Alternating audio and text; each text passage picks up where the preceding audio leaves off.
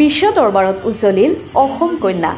পলেণ্ডত বসবাস কৰা ভাৰতীয়সকলৰ বাবে আয়োজিত সৌন্দৰ্য প্ৰতিযোগিতাত অসম তথা শিলচৰৰ কন্যা অনুৰাধা ৰায়ে মিছ ইণ্ডিয়া পলেণ্ড দুহেজাৰ চৌব্বিছ খিতাপ অৰ্জন কৰে। পলেণ্ডত আয়োজিত এক অনুষ্ঠানত অসমৰ জীয়ৰী অনুৰাধা ৰায়ে মিছ ইণ্ডিয়া পলেণ্ড দুহেজাৰ চৌব্বিছৰ প্ৰথম পুৰস্কাৰৰ লগতে মিছ ফটোজেনিক খিতাপ লাভ কৰিবলৈ সক্ষম হৈছে।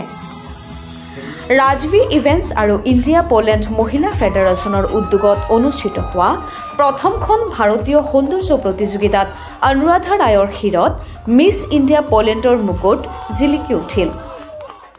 অনুৰাধাই সৌন্দৰ্য ব্যক্তিত্ব বুদ্ধিমত্তা প্ৰতিভাৰ মানদণ্ডত সকলোকে পৰাস্ত কৰি শ্ৰেষ্ঠৰ খিতাপ অৰ্জন কৰি অসম তথা শিলচৰৰ নাম উজ্বলাইছে। অনুৰাধাৰ পৈতৃক গৃহ শিলচৰত হলেও তেওঁ ডাঙৰ দীঘল হৈছে গুৱাহাটীত Miss India Poland 2024 is Anuradha Roy.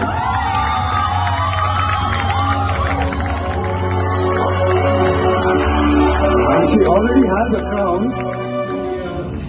World in New York, It's amazing. It's an excellent moment. One of the best moments for our Indian community. May I invite all the winners. May I invite you all.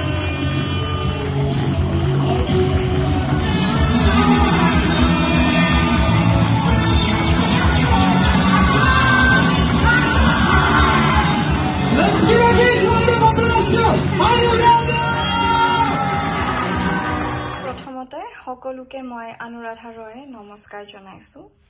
মই আজি আপোনালোকক জনাবলৈ পাই খুবেই সুখী আৰু খুবেই সন্মানিত হৈছোঁ যে মই এজনী অসমৰ জীয়ৰী হিচাপে বিদেশত অনুষ্ঠিত হোৱা মিছ ইণ্ডিয়া পলেণ্ডৰ একমাত্ৰ বিজয়ী হ'বলৈ সক্ষম হৈছোঁ।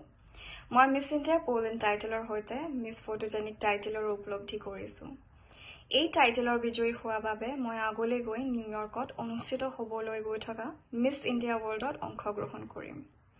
মই গুৱাহাটীতে ডাঙৰ দীঘল হৈছোঁ আৰু মই মোৰ পঢ়া শুনা কে ভি খানাপাৰা আৰু আৰ্মি পাব্লিক স্কুল নাৰেংগীৰ পৰা কৰিছোঁ। মই পঢ়া শুনাৰ লগত সৰুৰ পৰাই ডান্সিং আৰু কো কাৰিকুলাৰ এক্টিভিটিছত খুবেই জড়িত আছিলোঁ।